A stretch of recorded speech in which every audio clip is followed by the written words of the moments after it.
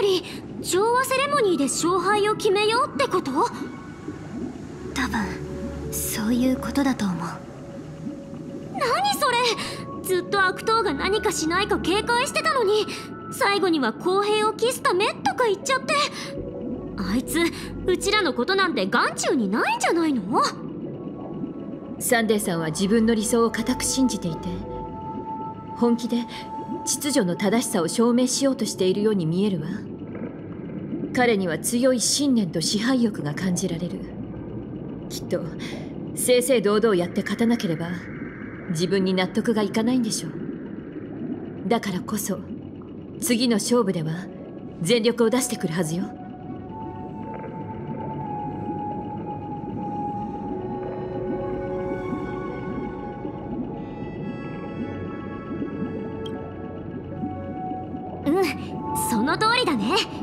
うちらは壊滅の絶滅大軍だって倒したんだから。たかが秩序なんてきっと大したことないよ。いずれにしても請求列車として正確の存在を無視することはできない。それにピノコニーの未来を開拓することはミハイルたち先人の願いでもあるもの。みんなバトンを受け取った以上彼らの意志を裏切るわけにはいかないわよ。でもそれは秩序にとっても同じことだよ。彼らの計画は長い時間をかけて準備してきたもの。その背後には宴の星が数百年かけて育んできた。巨大な意志があると思う。夢に入りたいという渇望。深い眠りにつきたいという怠惰。そして逃避。諦め。人々が気づかないうちに育んだ感情が秩序の美しい夢を成長させるゆりかごになったんじゃないかな。一つの世界の意志を利用してアイオンを誕生させる。この戦いは単なる力のぶつかり合いじゃない。ピノコニーの未来のためにも君たちだけを舞台で戦わせるわけにはいかない。君たち？どういう意味？ホタルうちらと一緒に行かないの？ホタルが言いたいのはもう一つの戦場に向かうってことだと思うわ。出発前に運命の奴隷が教えてくれたの。この旅で私は忘れられない収穫を得るだろうって。彼がくれた脚本はほんの数行しかなかったけど無視できないものだった。だってその中の一行に私は夢の地で死を3回経験するって書いてあったから。さ3回？きっと鍵括弧がついてるんだろうな。1回目は死に等しい苦痛で私の体は眠りの翼人に貫かれそこから全ての物語が始まる脚本は必ず現実になるけどどういう形式かはそのページを開くまでわからないんだ。たった今私は2回目の死の意味が理解できたからそれを行動に移そうとしてるの。うまくいけば君たちにとっても大きな助けになると思う。この勝利を勝ち取らないとピノコニーに未来はない。それにこうすればまだ訪れてない3回目の最後の死が最悪の形で現れることはないはずだから。最悪の形？それって？本当の死。ピノコニーの全ての人々が秩序の美しい夢の中に永遠に沈むことね。それは絶対に避けなきゃいけない未来だよ。ホタル覚悟はできてるの？もちろんできてなかったらここには来てない。改めてお礼を言わせて。請求列車を助けてくれて。本当にありがとう。現実世界でまたあんたに会えることを願ってるわ。さ ようなら。みんなの開拓の旅が永遠に終わらないことを祈ってる。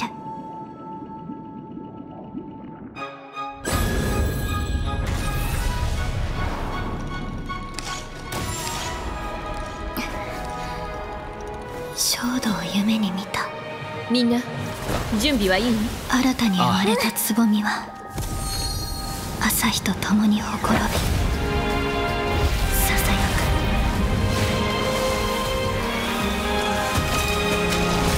蛍よ生きるために死ぬのだと。現実でまた会えることを願ってる。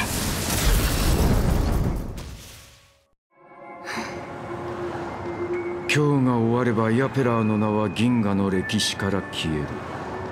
そして陛下官邸が奴らにとって変わり近い将来招待状を受け取るだろう。それがお前の次の目的地だ。夢の地？ピノコに？そこでお前の求める答えが見つかることあるいは下脱を得られることを祈っている。それは3回の死のこと。銀狼から聞いた残念ながら俺の脚本にそれはなかった。私は生き延びたいとは思うけど死ぬことを恐れてるわけじゃないから。死の反対は永遠の命。それは決して私が望んでるものじゃない。人はいずれ死ぬ。それは私も例外じゃない。死は脚本みたいなもの。抗うことのできない運命だもん。だからこそ私たちはちゃんと自分の骨を埋める場所を選ばないと。お前が生きるのは滅びるためなのか？ジンだってそうでしょ。君が望む終わりは決して他人に定義されるものじゃない。今死ねば私はただの兵器でしかない。でもできることなら一人の人間として死にたい、うん、死ぬべきだと思うの。まだ私には遠すぎる概念かもしれないけどみんな同じなんじゃないかな。生涯をかけてその答えだけを探してる。お墓に刻まれる。短い名前を私の墓石には。前はクラモスの鉄器。今は性格ハンターって刻まれてるけど。いつの日か。きっと。蛍の名前と。彼女が人生の最後に見せた輝きが。記されることになる。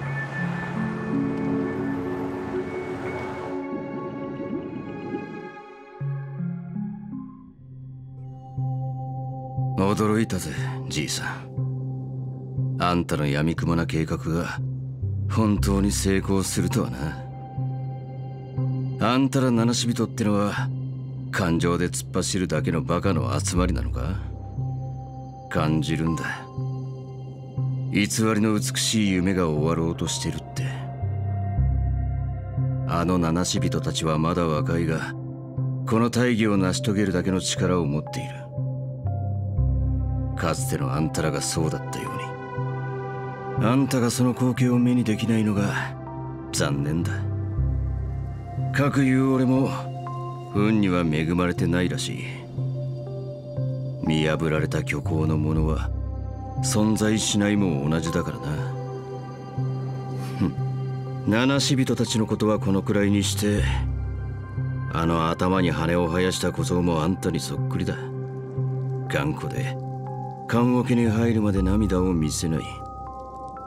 運命のいたずらってやつかもしれないな。このクソみたいな運命さえなければ俺たちは一緒に笑い合えていたかもしれない。だが最後はしっかり鬱憤を晴らしてやったぞ。これですっきりした。昔あの連中が俺たちに何て言ったか覚えてるか？地獄に落ちろ。この裏切り者ども。なあミハイル。あいつらの言ってたことが本当かどうかはわからないが自由を求めるだけで地獄に落ちることになるなら俺もすぐにあんたのとこに行くことになるだろうよじいさん。そしたら地獄でまた一緒に晩飯を食おう。ああ忘れるところだった。もう一つあったんだ。この集いと別れは時の定めでお前に敬意を示そう。開拓者。完璧ではない明日に乾杯。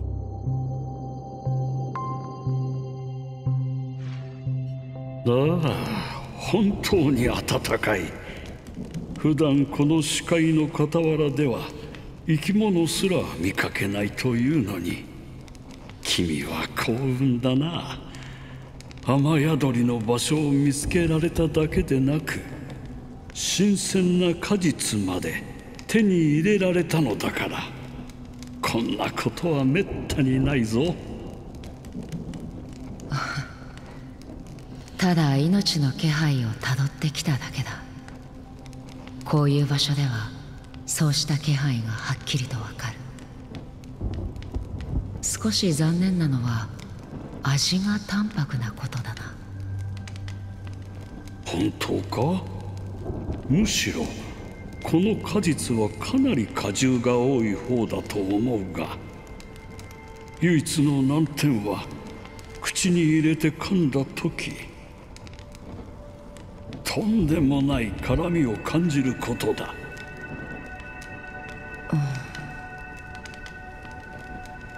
うん、まさか味覚がないのか。いやいくつかの味はまだ感じられる。例えばほのかな甘さとか。ここに来る前はエオルケロンという場所にいたんだがそこにも人気のない崖があって夜は焚き火で辺りを照らしていた。空からは赤紫色の雪が降っていてふと思いつきでそれを口に含むとラズベリーの味がしたんだ。その味は甘美とは言えないが忘れがたいものだった。改めて振り返ってみると私のたどってきた道をつないでいるのは印象に強く残る物事の顛末ではなくそうした忘れられない瞬間の数々だな。気にするな。次第に自我を失っていくのは自滅者なら向き合わなければならない現実だ。少なくとも私はまだ完全に感覚や記憶を失ったわけじゃない。それでは君の旅に新たな注釈が加わったことを祝福しよう。ところで君は一人なのか？いやエオルケロンにいた頃は仲間がいた彼女は小柄な七死人で自分をイックスに飛ばそうとしていていつもアキビリよりも奥深くさらに遠くまで行くと言っていたな。体は小さいのに野心は大きいのか。それで結果は？彼女は死の水になった。それは残念だったな。残念。そうは思わないが彼女は最後まで笑っていたし一度だって自分の選択を悔いたことはなかった。きっと笑って別れを告げてほしかったはずだ私はそうしたぞ。それが彼女のことを残念に思っている証拠だ。あるいは恐れているのかもしれないな。恐れている？君からそんな感情は感じ取れないが何を恐れているというのだ？彼女と共に過ごした30日間を忘れることをだ。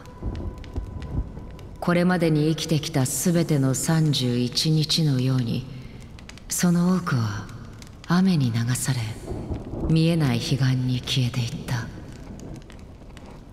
その鮮やかな赤い記憶が消えてしまうことを私は恐れている。この目に映る色はもう多くない。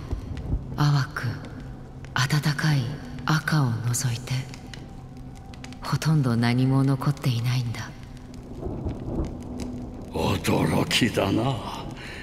血と破壊と混乱を多く見てきたはずのレンジャーが赤からぬくもりを見出せるとは。それは私も昔はそうしたぬくもりをたくさん持っていたからだろうな。ある人と約束したんだ。それをもっと多くの人に与え余生すべてを人々にとってより良い結末を追い求めるために使うと。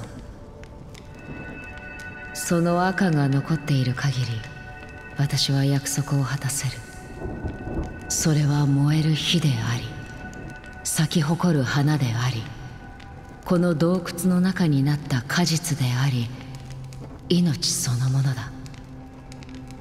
あっという間に消えてしまうが人の目を奪う。最後にそれは私を率いて存在の地平線を乗り越え彼岸の彼方で虚無を断ち切る。眠る無双者から祝福を受けながらそのアイオーンを殺す方法を考えているのかそれはまさに完全なる虚無だな。だが君の言う通りだ。この長雨が続く死の水のほとりに居続けると鮮やかな赤い火を見ている時だけ自分が生きていることを実感する。雨はいつになったら止むんだ？そうだな。亡者の怨念が全て静まれば空も晴れるかもしれないな。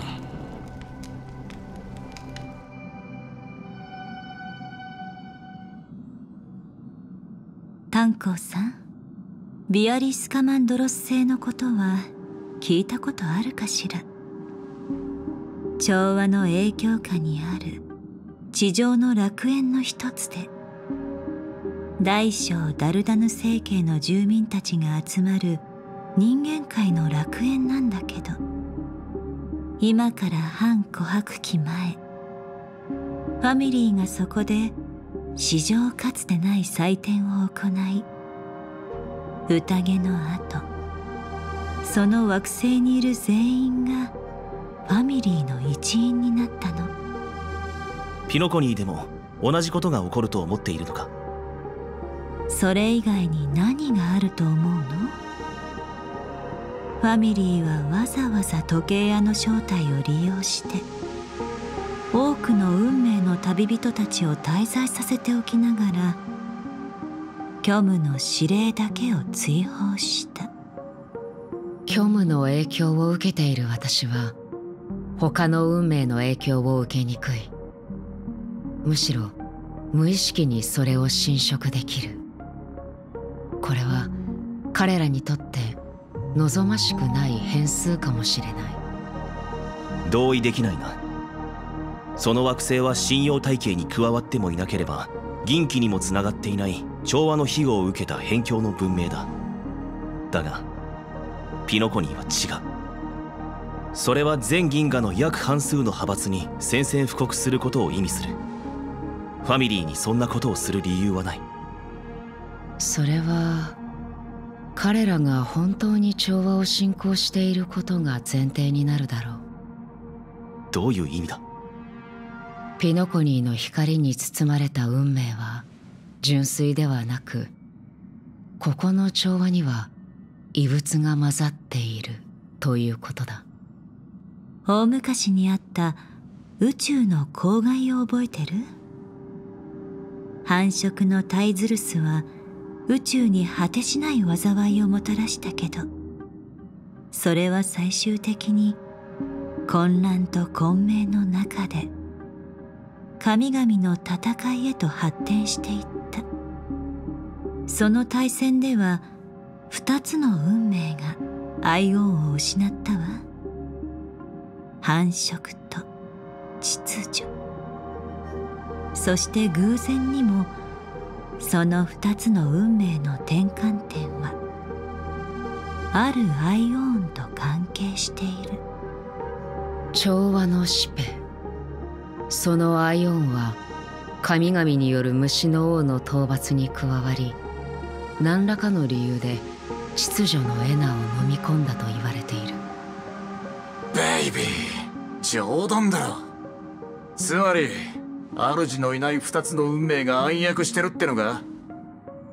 だがピノコニーに繁殖の子孫は現れていない。天外聖火隊の残党がファミリーの中に潜んでいて亡くなったアイオンを復活させようとしているということか。まだ断定はできないが少なくとも彼らが調和セレモニーを利用して何か企てていることは確かだ。ホーリーウーボんな複雑なことになってんのか。なら今すぐアステナを離れろってのはどういうことだ。まさかお手上げってわけじゃねえよな調和セレモニーの開幕が目前に迫っている今どうしても確認しておきたいことがあってな。それには跳躍するのが一番手っ取り早い。いや時間が差し迫っているのなら今すぐ別の手段を講じる。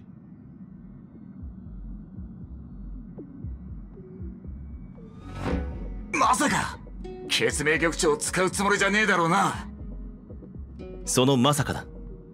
ラフの運気軍の助けがあれば十分だろそいつは一生に一度しか使えねえんだぞ。よく考えろ。よく考えた。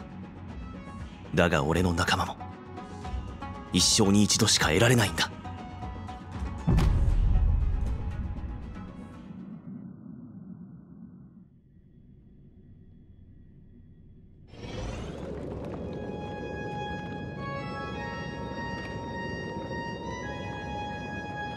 ここにいるのは君だけなのか？我が子よ。七死人はなかなか手強いな。私たちの秘密はすでにファミリーの間で広まりカンパニーのデストロイヤーもアスデナに集結している。今が重要な時だ。時にんであまたの音を調和させぬ。神に選ばれし者はどこにいる。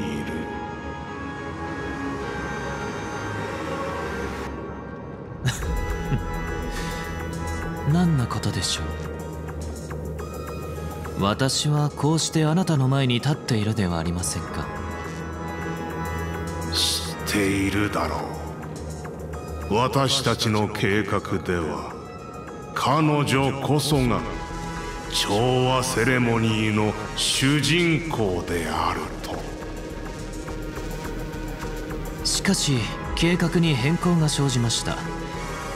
彼女の兄である私は秩序に歌を捧げることが彼女の本意ではないことを知っています。ここには私がいれば十分でしょう。君は子供の頃から賢かった。その行動がどんな代償を支払うことになるかきっと理解しているのだろう。これを裏切りだとお考えなのでしたら天に二つの太陽はいりません。必要ならば私が太陽を撃ち落とします。君は報いを信じるか？報いが本当に存在するのならそれは全ての生命に当てはまるはずです。あなたにはあなたの報い。私には私の報いが。ですが私の報いはあなたとは関係ありません。ゴフェルさん。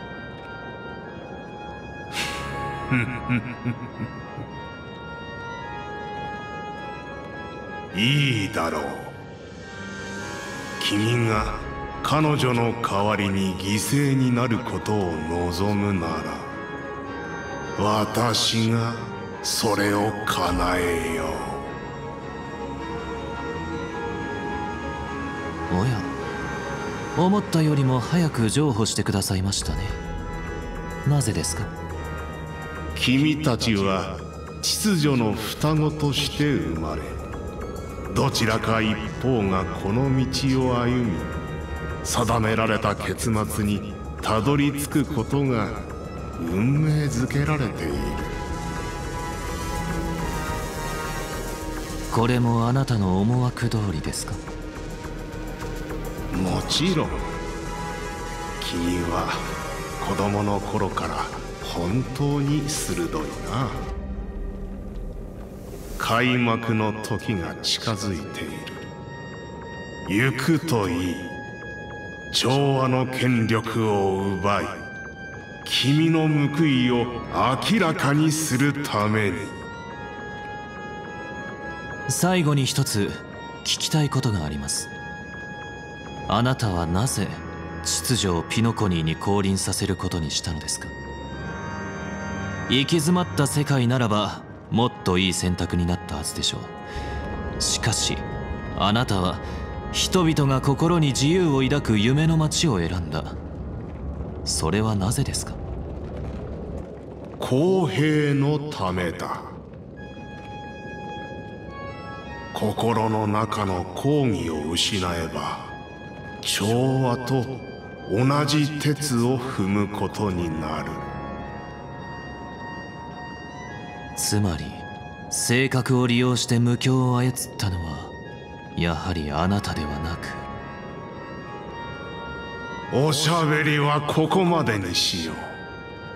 さあ始めなさい。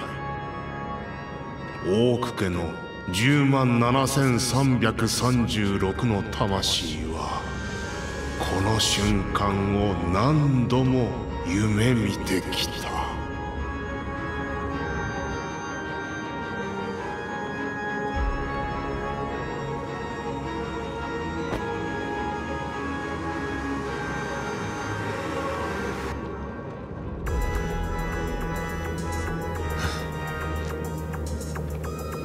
私は空高く飛び天上の太陽となる。すべての生命は我が光の中で生き生きと育ちすべての罪悪は隠れることができなくなる。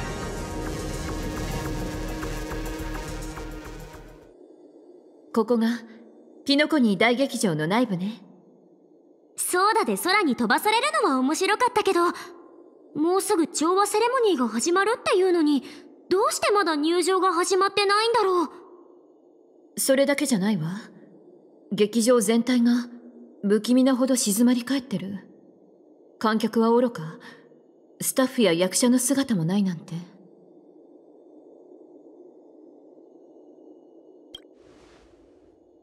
本当にね一人もいないなんてってそこじゃない。辺りを調べてみましょう。みんな気をつけて進んでね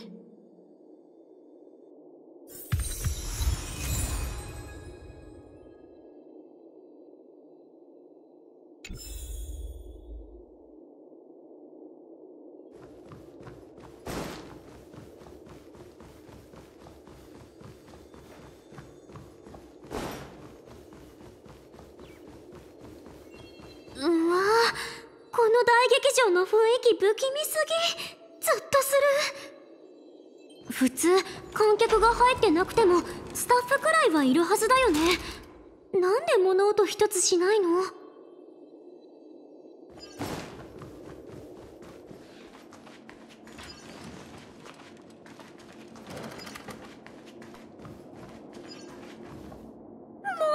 びっくりしたこのチケット売り場どうしてこんなにたくさん人形があるんだろう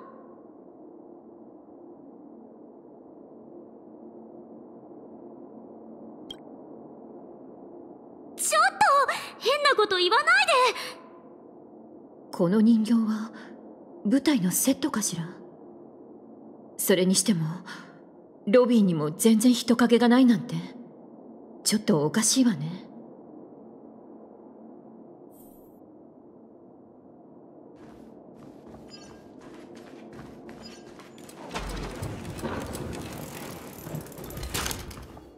なんか変な感じがするんだけどうちら来る場所間違えたわけじゃないよね。この無境に大劇場は一つしかないはずよ。じゃあサンデーにすっぽかされたのかな？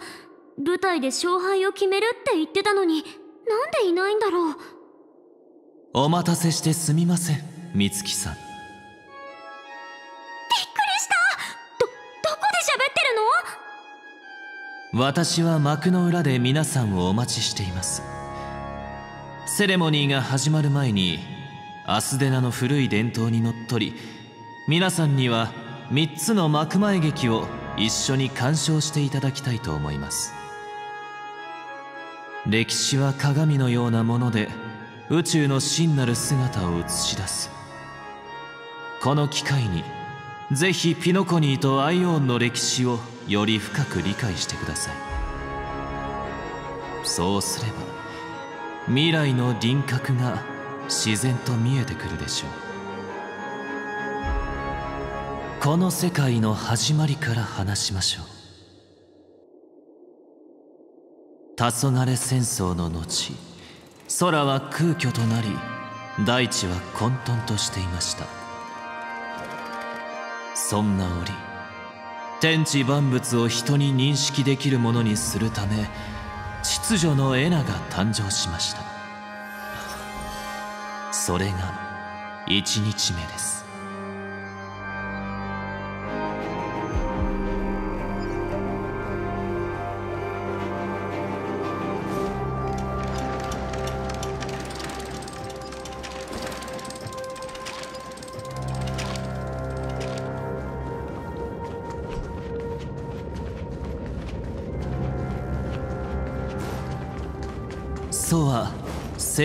プレクトラムに白と黒の鍵盤のあるチェンバロを作り上げました。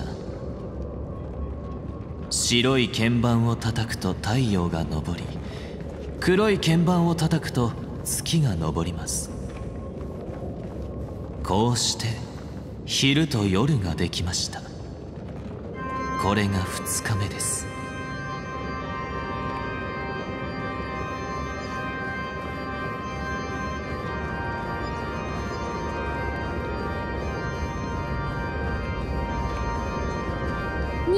ちが額縁の周りに集まってる。うちらも行った方がいいかな。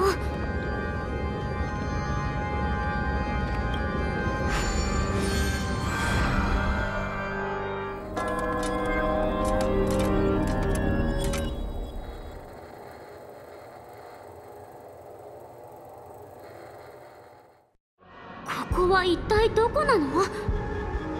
この場所の雰囲気もサンデーさんの心の世界に似てるわね。この幕前劇っていうのも同じような能力なのかも。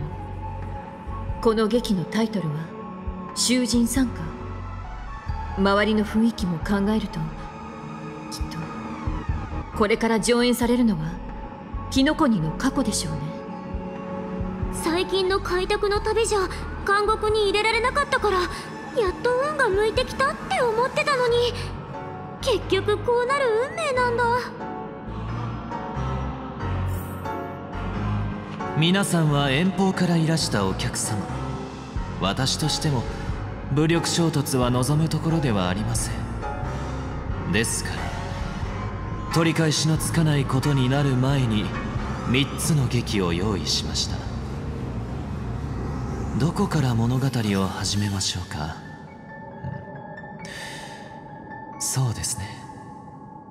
ピノコニーが辺境の監獄だった頃の話から始めましょう。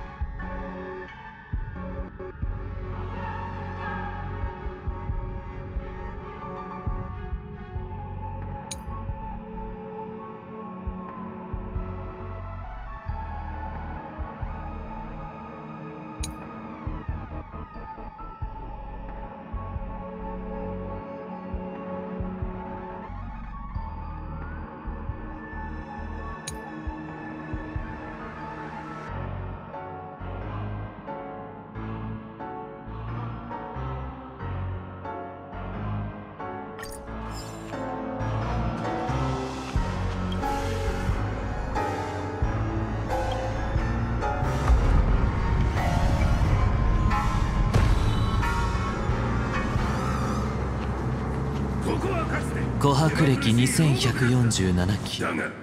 囚人のハヌヌが大規模な戦争を始め勝利を収めました。カンパニーはこれを辺境戦争アスデナの人々は独立戦争と呼んでいます。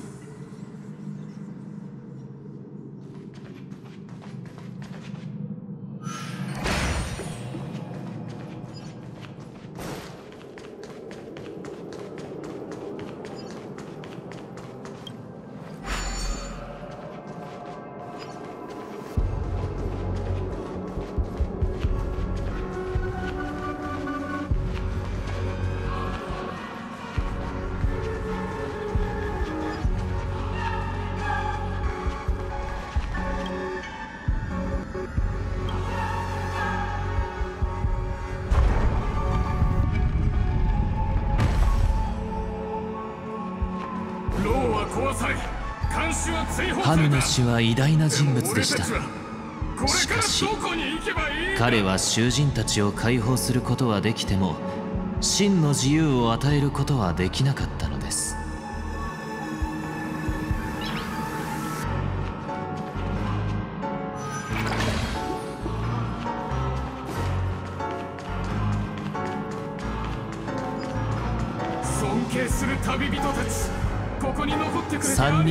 人の七死人がこの地にとどまり辺境の監獄に開拓の教えを伝えようとしましたしかし残念ながらそれは無駄に終わりました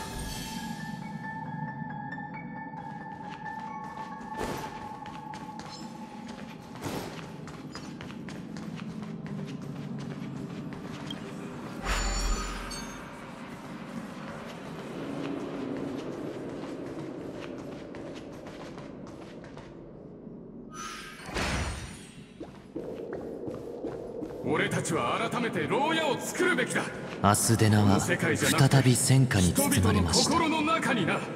今回の敵は内部から現れたのです。囚人は死ぬまで囚人のまま。知っているのは自由のために戦うことだけ。彼らは自由のために生きることを知らなかったの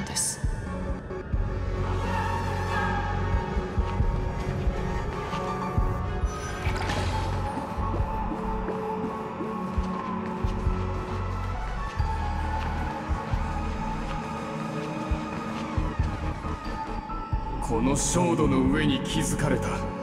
自由の地を気に入ってもらえるといいんだが。ご覧ください。彼らの刑期はとっくに終わりカンパニーの看守も追放されました。しかしこの囚人たちは奴隷のままです。なぜなら彼らは外の世界のものにとらわれているのではなく彼ら自身の心にとらわれているからです。自由はどこにでもありますが弱い魂にだけは存在しない。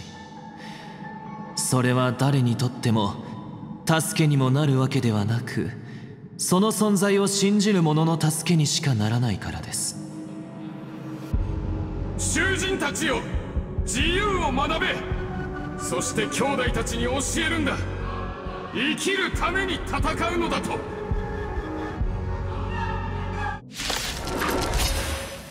劇見てるだけなのになんで戦う必要があるの？皆さんにはこの劇を楽しむだけでなく完成させるのを手伝っていただきたいからです。お薬の時間ありがとう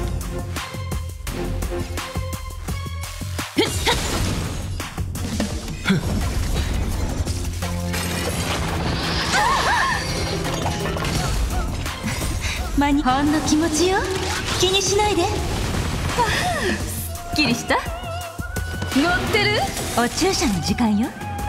己を解き放反抗陽動霊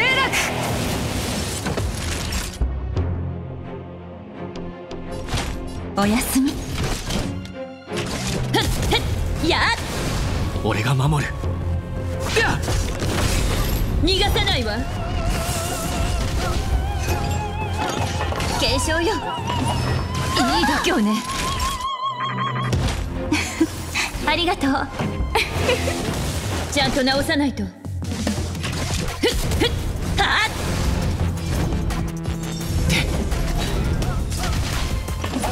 っ。やるじゃ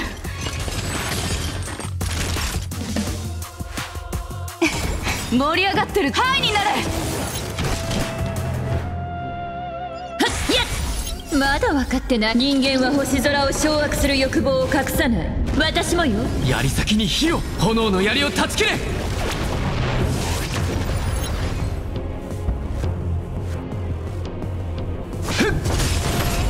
逃がさないわ。手の施しようがないわね。お薬の時間よ。す っ。きりやっ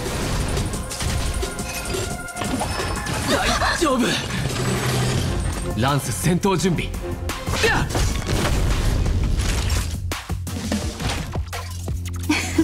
助かった。この曲はありがとう。ハイになれ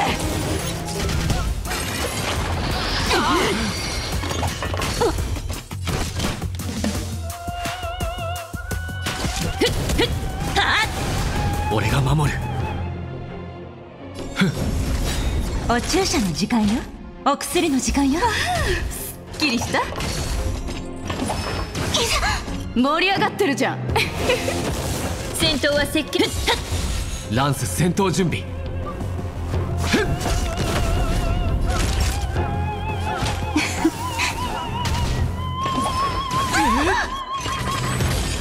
この曲はあんたに。ハイになれ。逃がさないわ。あんたのために用意したのよ。やっまだ分かって人間は星空を掌握する欲望を隠さない私もよ。おやすみ。俺が守る。盛り上がってるじゃん。もっと。己を解き放反抗。陽動。霊落ちゃんと直さないと。ふっふっはっ。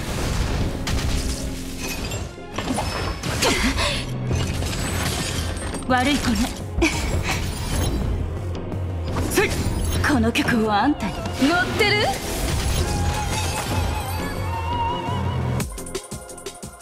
もう邪魔する奴はいない。お前たちは自由だ。ここまでが第一幕です。燃え盛る戦火の中で辺境の監獄は徐々に流刑の地へと変わっていきました。今のは多分ピノコニーの成り立ちの話ね囚人たちは外から来た人たちの助けを借りてついに自由への道を切り開き宇宙の流刑の地を築いた。ただサンデーさんは肉体的な牢獄よりも人々の精神的な苦境を表現することに重きを置いているみたいだけど。この劇うちにはちょっと文学的すぎる。分かりやすいのは戦うパートだけだったね。でもやっと出口に着いたみたい。早く行こう。この人形たち今度はどこに連れてくつもり？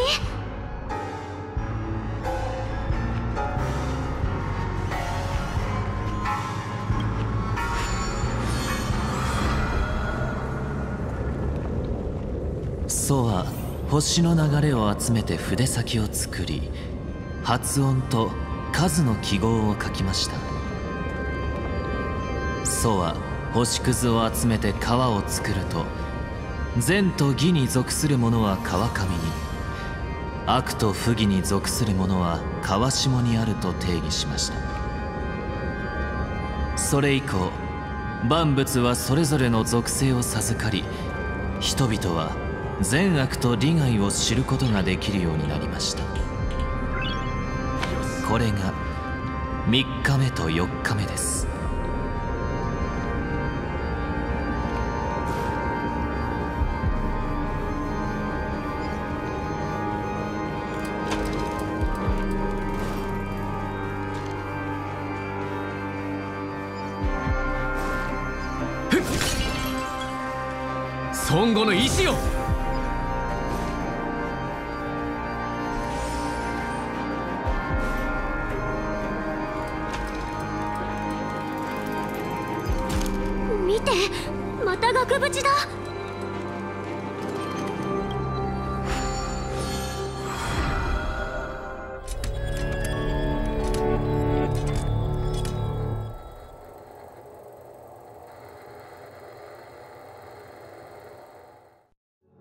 木参加これが2つ目の劇のようね。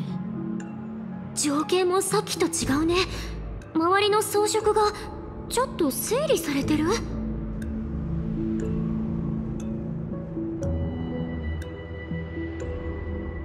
続いての物語は権力をめぐる争い。ピノコニーには木草花鳥獣果実虫の七大クランが次々と現れました。しかし流刑の地に本当の意味での平和は訪れていなかったのです。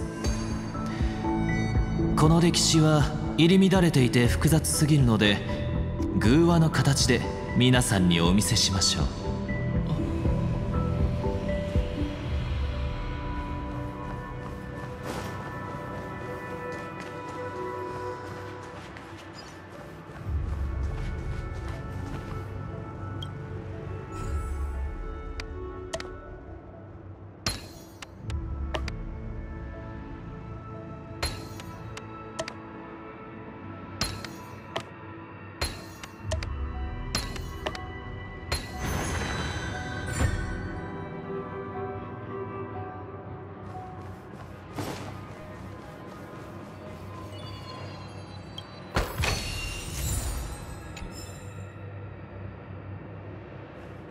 遠いところからようこそいらっしゃいました。流刑の地の秩序は非常に乱れており内も外も常に問題を抱えていました。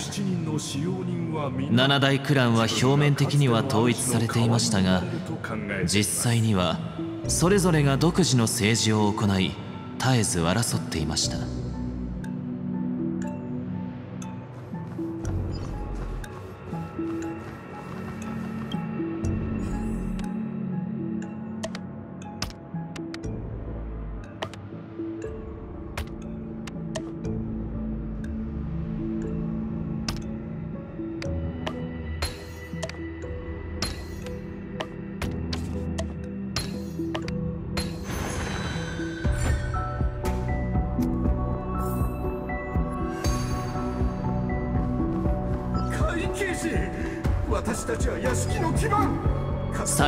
内戦から淘汰されたのはプラム家でした。ルーサン家が企てた白い砂漠事件によって彼らは永遠に歴史の一部となったのです。主があなたを土で作り私を炎で作ったからです私あなたよりも尊いのです。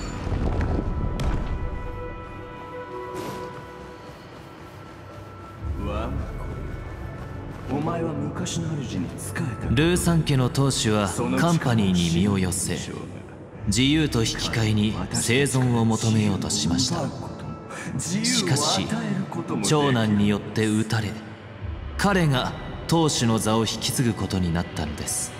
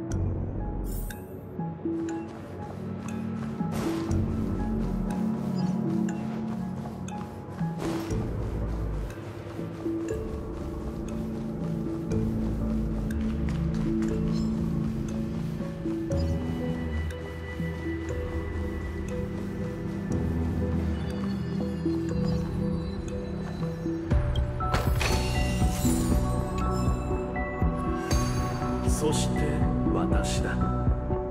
ゴフェルがファミリーを率いて流刑の地に来ると五大クランは次々とそれに属するようになりピノコニーはついに夢の地という新たな名を冠することができました。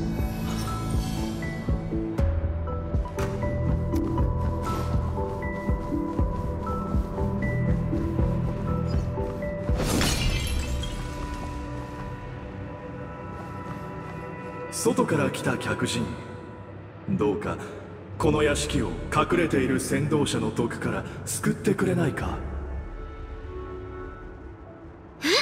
あんたたちを助けるってどうすればいいの？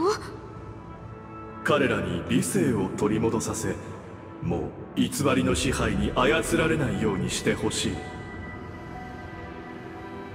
第2幕はピノコニーが夢の地へと変わっていく過程を描いているようねその中でファミリーの到来は重要な役割を果たしているみたい。でもこの新しい主人ってろくなやつじゃなさそうな気がするんだけど。これこそがサンデーさんが言葉の裏に隠してることなのかもしれないわね。調和はピノコニーを変えたけどそのやり方は昔の監視と変わらない。それってつまりこのひざまずいてる人たちを全員冷静にさせないといけないってことだよね。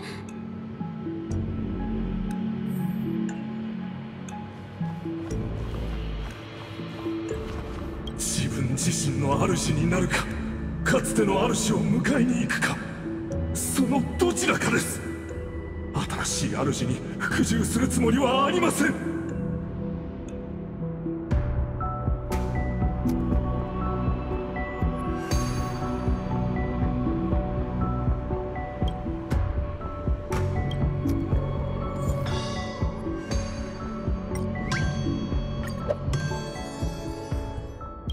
主がいなければ誰が私に自由を与えてくださるのでしょうか。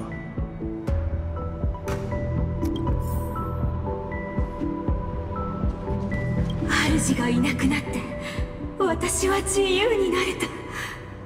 でも主の命令がなければ誰に正しい道を尋ねればいいかもわからない。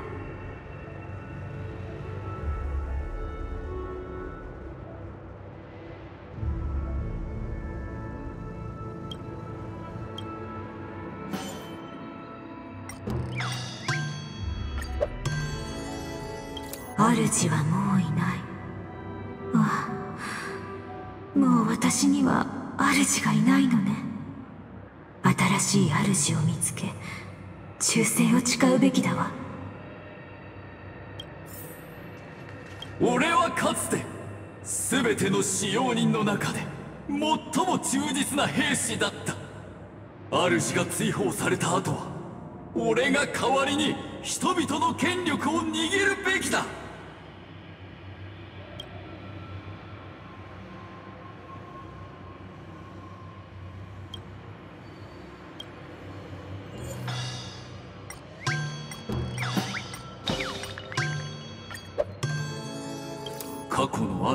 もういない。なのにどうして俺は人々が作り出した幻影を恐れてるんだ？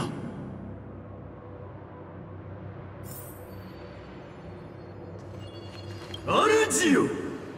あなたはいつかお戻りになるのですよね。私は永遠に見守っています。この忠誠心に対してあなたから報奨をいただけるまで。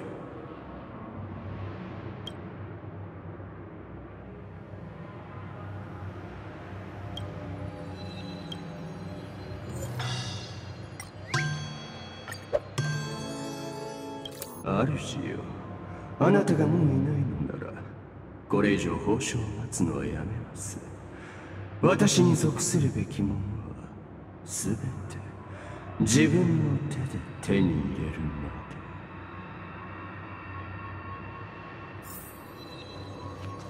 で。主が戻ってこなければ私は自由になれる。でも主の導きなしに私は誰のために歌えばいいの？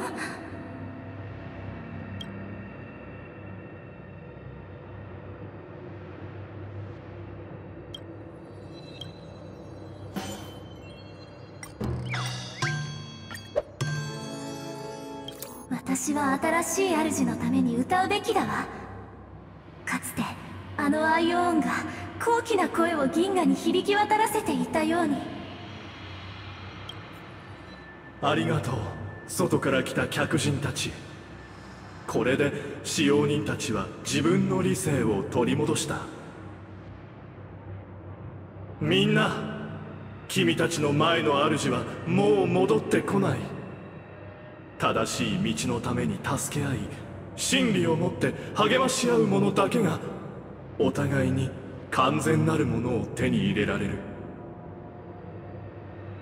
偽りの幻影に打ち勝ち互いの抱擁を受け入れるのだ。気をつけて。また戦いが始まるわ。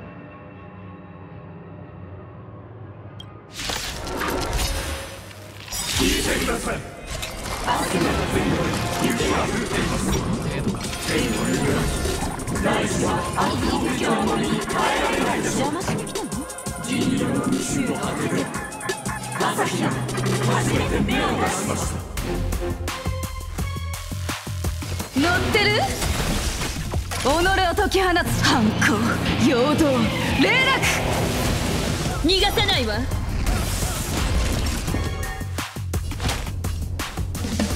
お薬の時間よ。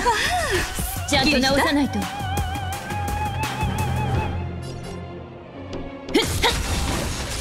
俺が守る間にほんの気持ちよ。気にしないで。助かった。ありがとう。継承よ。盛り上がってるじゃん。はいになれ。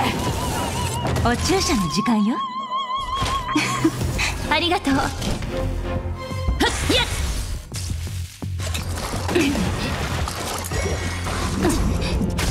ランス戦闘準備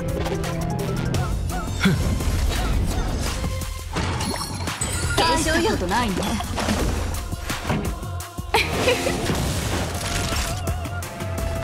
お薬の時間よ。ありがとう。ふっふっはっ。まだ分かって人間は星空を掌握する欲望を隠さない。私もよ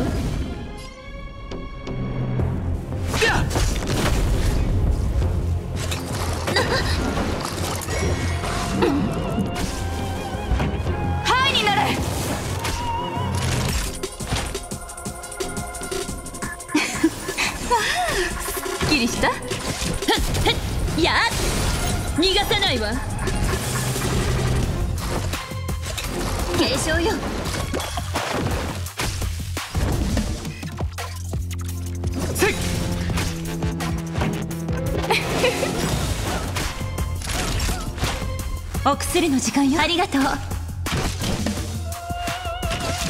ふっ。はっ。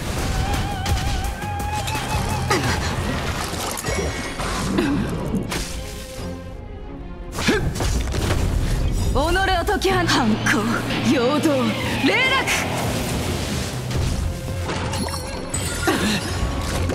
この程度この曲をあんたにハイになれ悪い子ねありがとう。ふっふっやっ。継承よ。俺が守る。盛り上がってるじゃん。乗ってる？お注射の時間よ。お薬の時間よ。すっきりしたまだ分かってないの人間は星空を掌握する欲望を隠さない。私もよ。間に合ほんの気持ちよ。気にしないで。チャンスだ。すっきりした。せい。おやすみ。ちゃんと直さないと。ふっふっ。は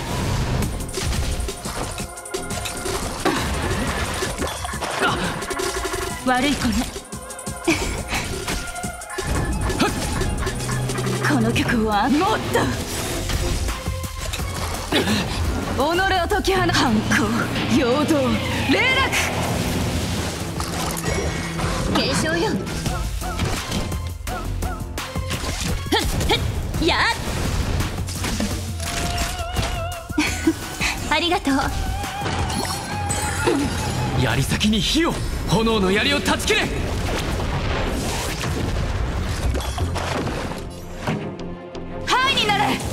ランス戦闘準備。ふっ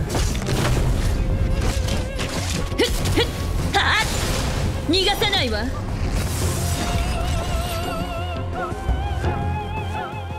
残念ながら彼らは最後まで自由の権利を与えられただけの奴隷でした。ここまでが第2幕。儚い調和の中で流刑の地は少しずつ宴の星へと変わっていったのです。今のはピノコニーが徐々にファミリーのものへと変わっていく過程ね。調和が来たことで流刑の地は大きな変貌を遂げた。でもこういう変化は何もかもがプラスに働くわけじゃないわ。こいつ本当に劇を楽しんでるみたい。一族みんなベテラン役者にも劣らないんじゃない？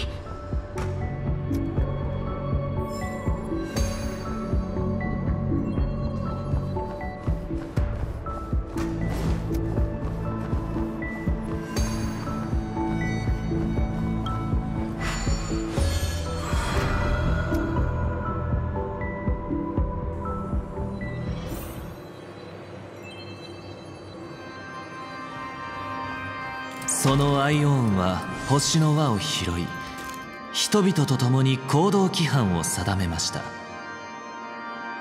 白と黒の鍵盤があるチェンバロを楽器発音と数の記号を音符下へと流れ続ける川を旋律に明確な規則を定めた掟を曲としたのです。そして人々は学章の中で自分だけの立ち位置を見つけました。これが5日目と6日目です。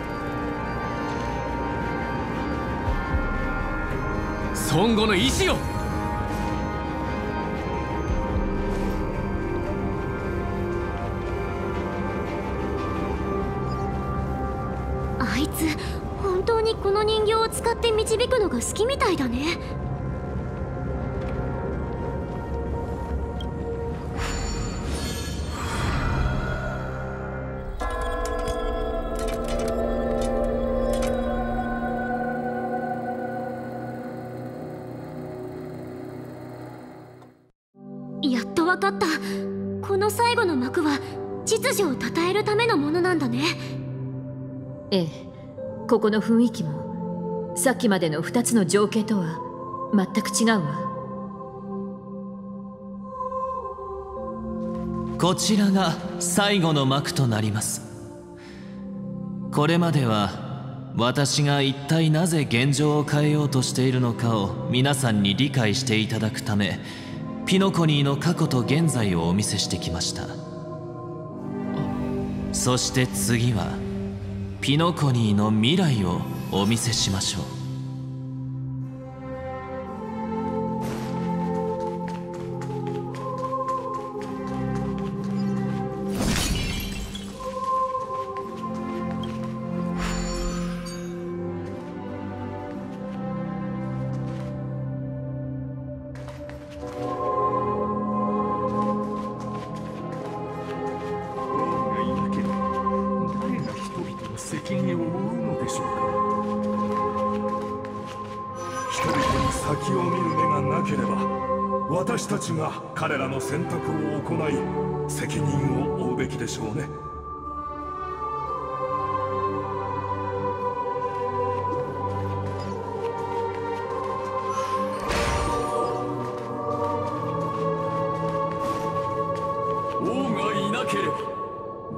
弱者を守り私たちは弱者を守るために助け合わなければなりません。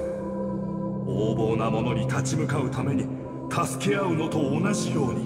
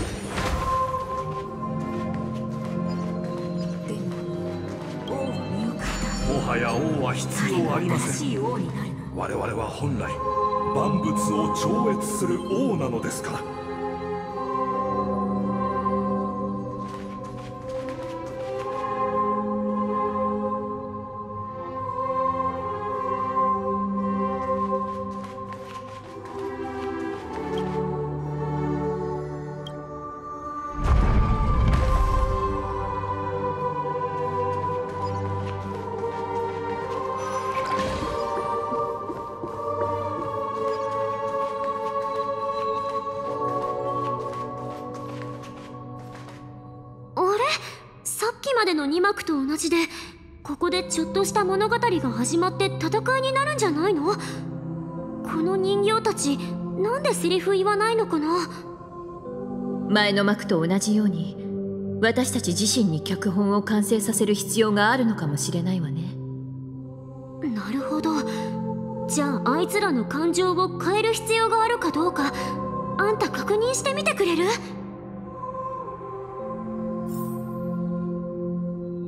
の意志を。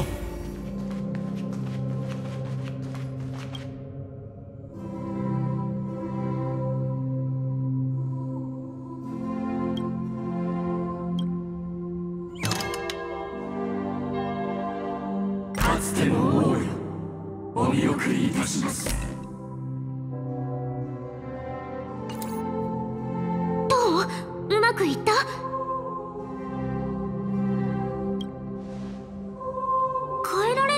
ってどういう意味？申し訳ありません。皆さんには伝え忘れていましたがこの最後の幕だけはすでに書き終わっているのです。私たちのかつての王からあなたたちに話してもらいましょう。さあ最後の儀式の始まりです。みんな構えてまた戦うことになりそうよ。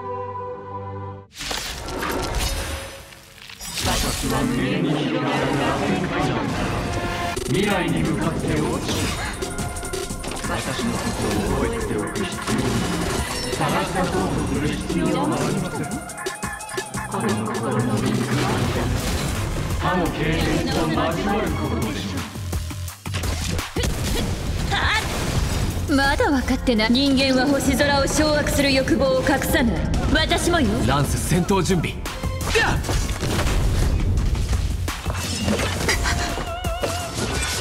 盛り上がってるじゃん。ハイになれ。戦闘は設計みたいなものよ。やっ。逃がさないわ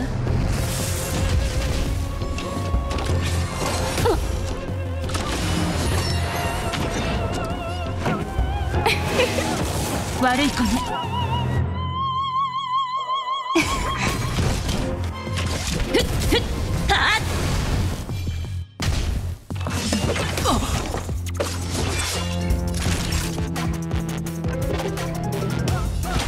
薬の時間よ。助かこの曲はありがとう。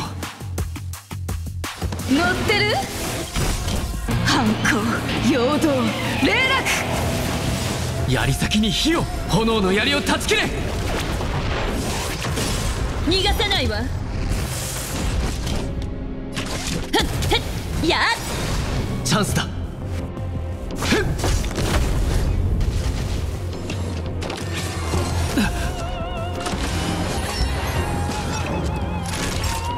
おやすみ。盛り上がってるじゃん。ハイになれ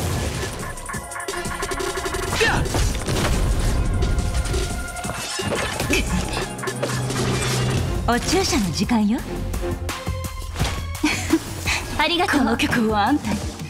もっと。ちゃんと直さないと。まだ分かって人間は星空を掌握する欲望を隠さない。私もよ。逃がさないわ。チャンスだ。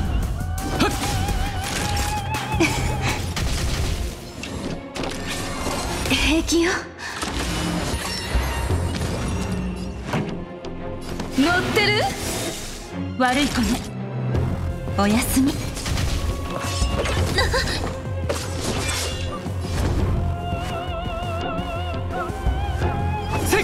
盛り上がってるじゃん。もっと。戦闘は設計みたいなもの。よ陽動霊落。槍先に火を炎の槍を断ち切れ。逃がさないわやっ。手の施しようがない。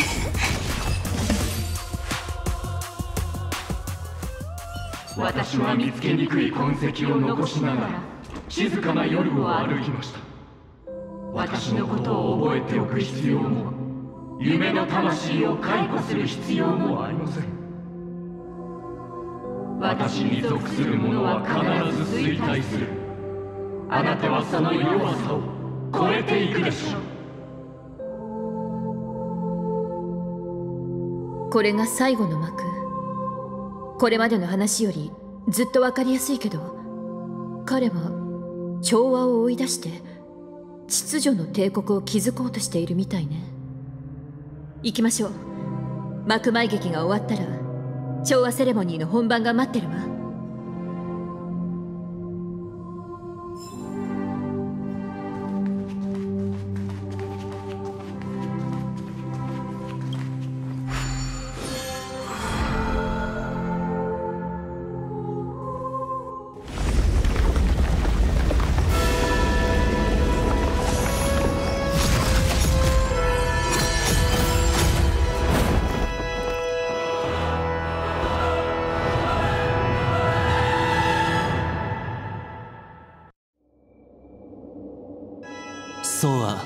世界の人々に意義を与え天地万物を揃えました。そして祖はあらゆる創造の手を止めたのです。しかし人々はエナに訴えます。あなたは秩序で民を定義したがそのせいで私たちは自分があなたの操り人形に過ぎないことを知ることになった。そのためその日人々は心を一つにして神を破滅の穴に投げ入れました。大劇場の様子がすっかり変わってる。これが秩序の力なの？みんな覚悟して。厳しい戦いになるかもしれないわ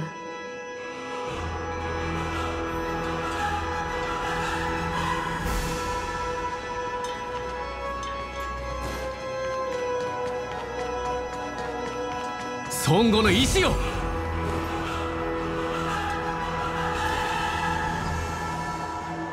これが7日目です。歓声と賛歌が一斉に響き渡る。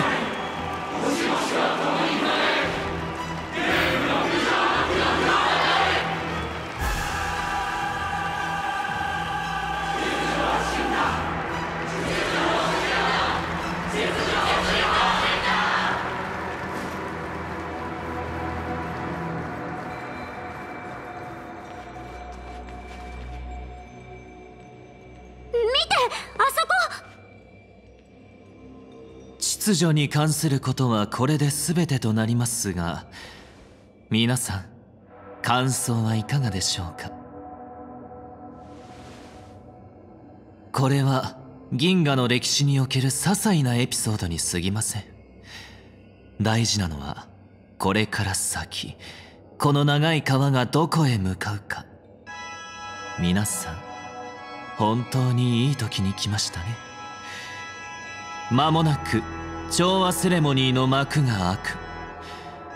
調和の序幕に皆さんがいないのは実にもったいないですから。改めて歓迎させてください。ようこそピノコニー大劇場へ。ここは美しい夢の中心。性格のありか調和セレモニーの絶対的な舞台。そして私たちがピノコニーの未来を決める死闘の地でもある。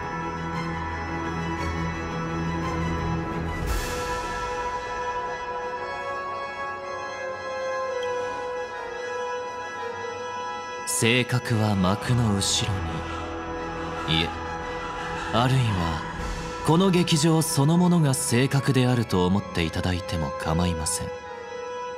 ですがそれを見たいのならあなたたちも正確の偉大な力にふさわしい信念を私に見せてください。信念を持ってこそ私たちはこの世界に真の幸福をもたらすことができるのですから。言わせてもらうけど永遠の眠りに落ちることと幸福はイコールじゃないわ。人々が夢の中で他人に操られているならなおさらね。姫子さん。この後に及んでまだ秩序が全宇宙を操り人形に変えようとしているだけだと思っているのですか？あんたたちの思い描く楽園がどんなに完璧なものであっても所詮牢獄は牢獄のままよ。そんな世界でみんなが本当の幸福を手に入れるなんて無理に決まってるじゃん。だってただのアイオーンのおもちゃに過ぎないんだから。皆さんは私の意図を誤解しているようですね。ここで正式に宣言しましょう。私の理想はアイオーンを復活させることでも神になることでもありません。私がやろうとしていることは一つだけ。それはアイオーンが存在せずただ秩序のみがあり全ての人々の尊厳と幸福を受け入れられる私たち人間だけの楽園を作り出すことです。あんたは間違ってるわ。人間が尊厳を持って生きるにはどんな人物や物事であろうと彼らの上に立つべきじゃない。そしてサンデーさんの言う楽園とやらにおいてその人物とは他でもない。あんた自身よ。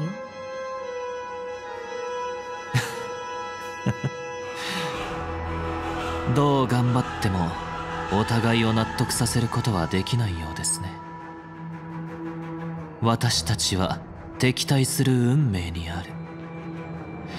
こうなってしまった以上それぞれの運命をもって宇宙に正しい道を示しましょう。ですが未来の序幕が奏でられる前にもう少し時間をかけて私の質問について考えてみてください。昼と夜は対等でしょうか？善人と罪人は対等でしょうか？人が生まれつき軟弱ならば弱者はどの神から安寧を得ればいいのでしょ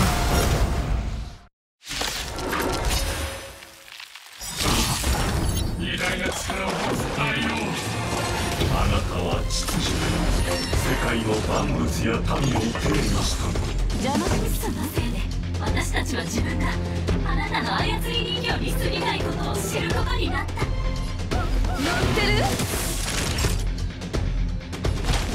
お薬の時間よ。ありがとう。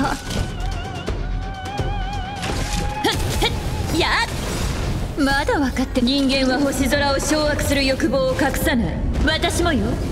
俺が守る。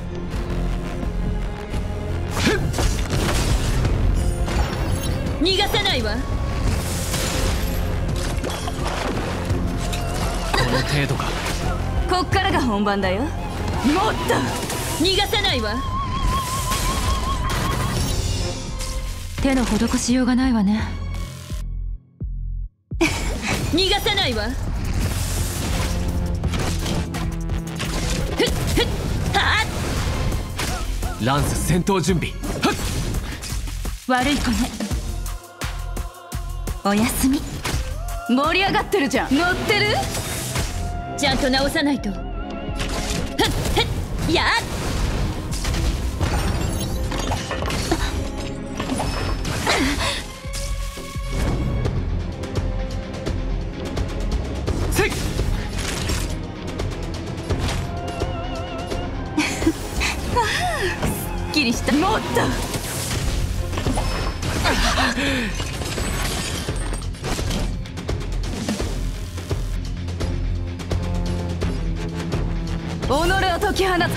反抗陽動霊落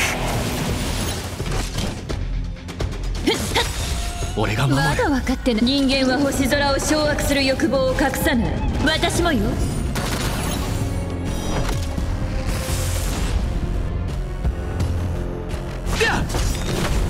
手の施しようがないわね。お薬の時間よ。ありがとう。この曲はあんたに。乗ってる？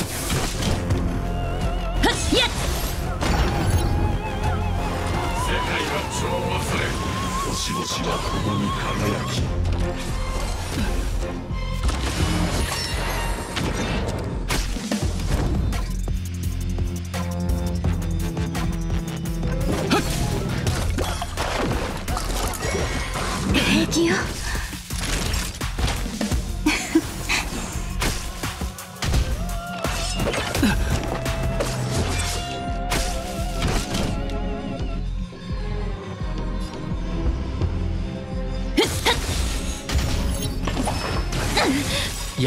に火を炎の槍を断ち切れ。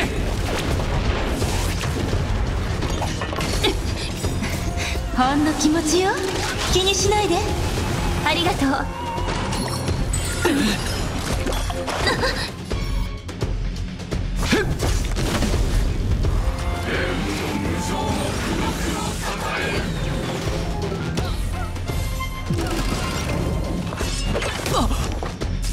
お注射の時間よ。お薬の時間よ。すっきりした。もっと逃がさないわ。己を解き放反抗。陽動。霊落逃がさないわ。ちまだ分かって人間は星空を掌握する欲望を隠さない。私もよ。あんたのために用意したのよランスス。悪い子ね。ありがとう。乗ってる？戦闘は設計みたいなもの。よふっふっやっ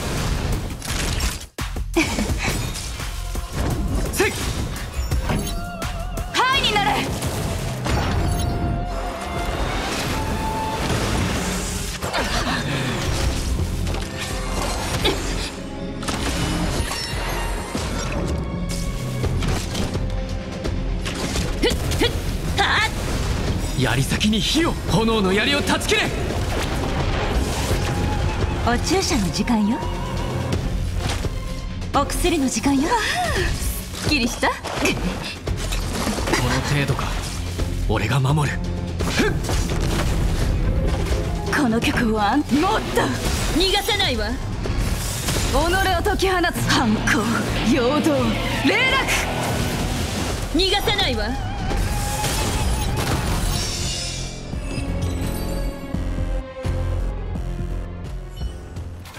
あなたたちの決意が伝わっ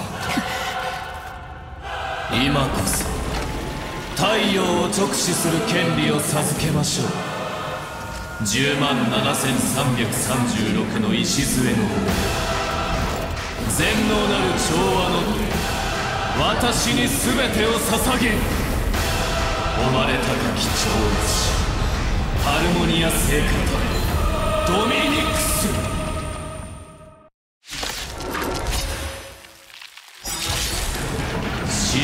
影を行く迷いしここに。調和の化身？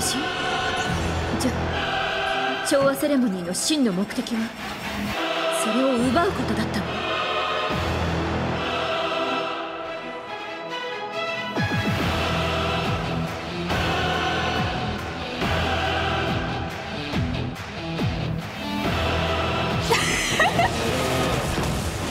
戦闘は精巧なデザインなの。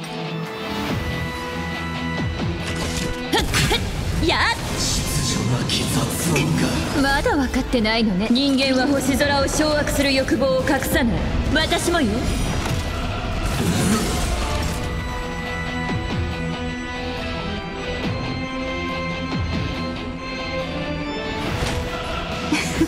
ありがとう。ランス戦闘準備。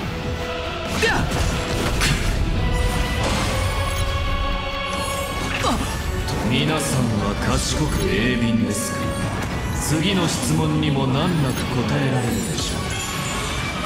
なぜ調和と秩序は一つになれると思いますか？恐ろしい。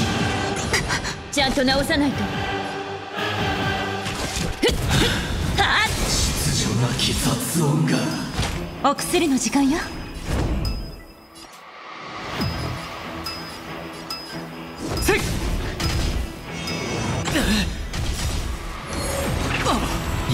に火を炎の槍を断ち切れ。逃がさないわ。秩序なき雑音が。盛り上がってるじゃん。もっと。そう恐ろしい己を解き放反抗。陽動。霊落。逃がさないわ。なんか目の前に別の世界があるみたい。勝率の力歌声に気を取られないよう注意して。やっ。雑音が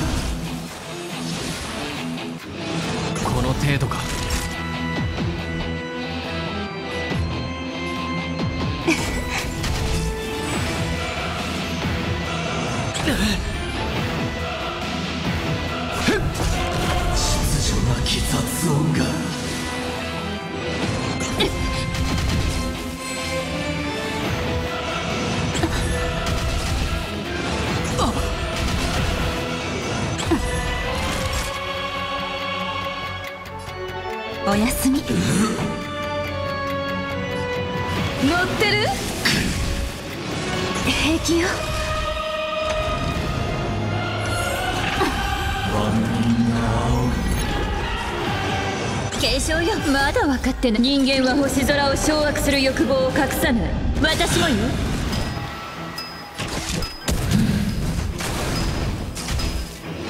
この程度か。逃がさないわ。槍先に火を。炎の槍を断ち切れ。なぜ？主情は口を継ぐ。万物は旋律から離れられる。己を解き放つ反抗陽動霊落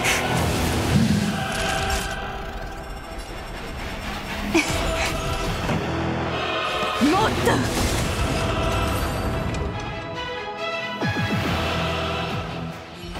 時は来た。神のムクロから再び増加が生まれるダン君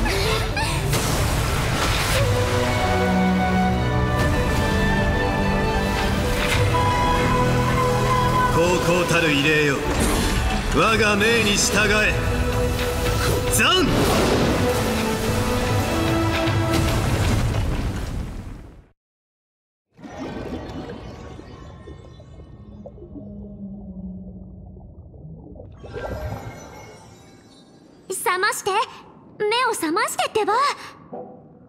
ちょっと起きて。いつまで寝てるの？もう日が昇ってるんだけど。大丈夫？うちの声は聞こえる？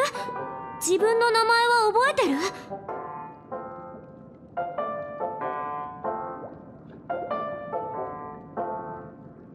それは相当まずいね。頑張って思い出せない？あんたの名前は？なんてね。冗談はこのくらいにしとこ。しんくんの力がいくら強くてもあんたが記憶喪失になるほどじゃないでしょ。大丈夫そうで安心したよ。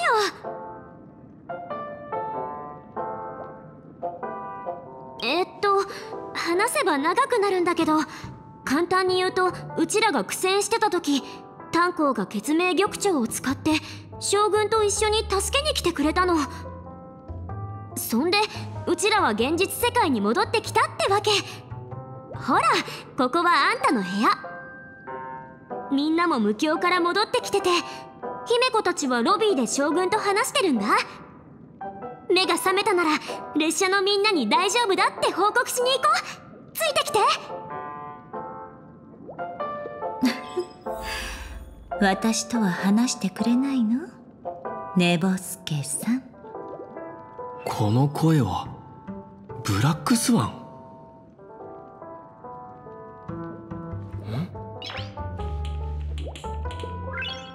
よし。